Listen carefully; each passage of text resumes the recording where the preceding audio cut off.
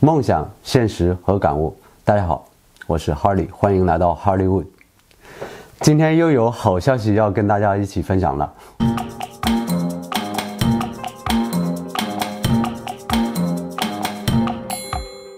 两周前，就在中国新年的前几天，从德国柏林传来第一个喜讯：我们的悬疑短片《Black Key》入选了柏林独立电影节。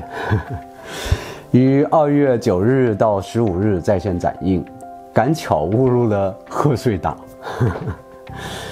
展映之后呢，二月十六日我们就收到了第二个喜讯，《Black Key》获得了该电影节的评审团最佳短片奖，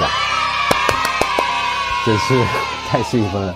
你们知道吗？是哪位嘉宾宣布我们获奖的吗？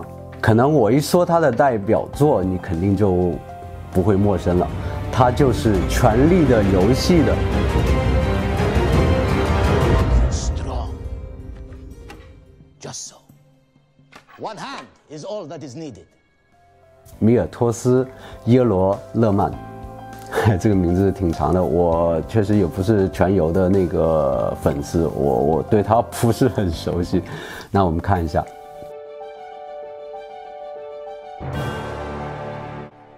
Good evening, and welcome to the awards presentation for the Berlin Independent Film Festival.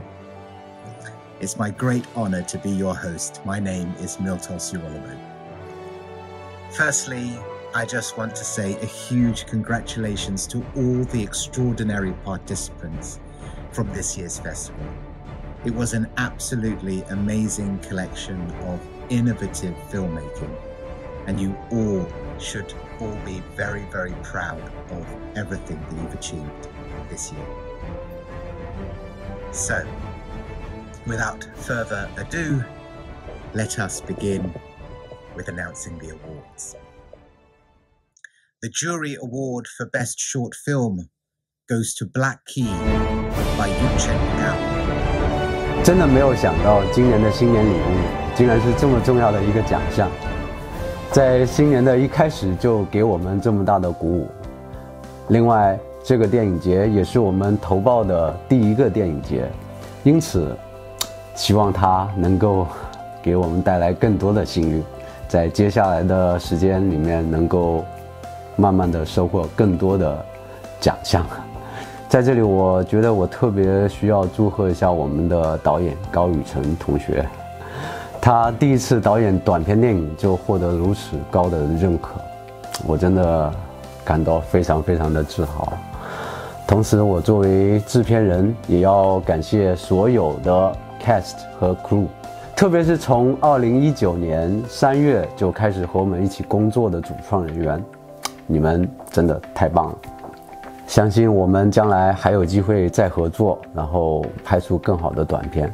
我还想跟所有的 filmmaker、分享的是，只要你有作品，就尽可能的多去参加一些电影节，相信自己的作品是独一无二的。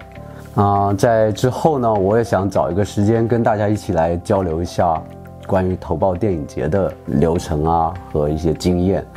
我也想听听你们的一些经验。那今天的喜讯分享就说到这里，谢谢大家，拜拜。